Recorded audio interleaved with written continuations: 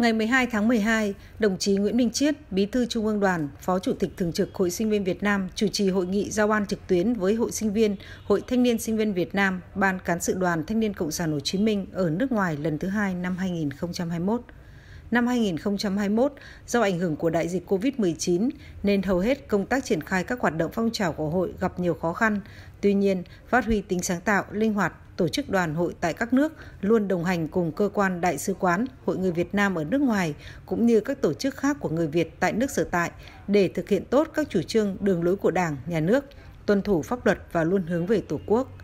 Trên cơ sở đa dạng hóa hình thức, các tổ chức hội tiếp tục đẩy mạnh các hoạt động thu hút trí thức trẻ Việt Nam ở nước ngoài đóng góp cho đất nước, chú trọng tuyên truyền giáo dục chính trị tư tưởng đối với thanh niên Việt Nam ở nước ngoài, cũng như tăng cường hỗ trợ người Việt Nam ở nước ngoài giữ gìn và phát huy bản sắc văn hóa dân tộc Việt Nam.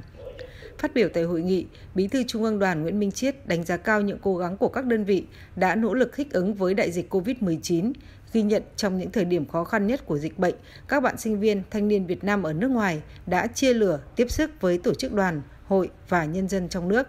Chia sẻ với những khó khăn của các bạn trẻ Việt Nam ở nước ngoài đang phải đối mặt, Bí thư Trung ương Đoàn đề nghị trong khó khăn, cán bộ hội cần chủ động nắm bắt tâm tư, nguyện vọng của thanh niên, học sinh, sinh viên để kịp thời hỗ trợ, giúp đỡ. Càng khó khăn, chúng ta càng quan tâm, kịp thời chăm lo nhiều hơn cho các hội viên, sinh viên của mình.